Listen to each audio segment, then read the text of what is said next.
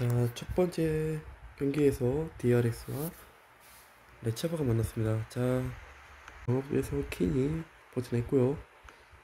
잔지벤. 자, 웃어요. AKP 한지벤 걷어냅니다.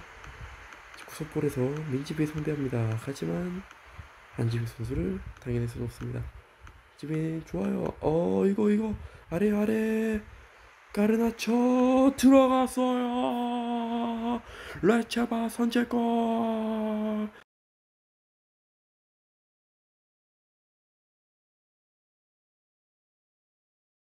시간이 이제 슬슬 다 돼가는데요. 뒷공간, 뒷공간, 아, 가르나쳐, 가르나쳐, 들어갔어요.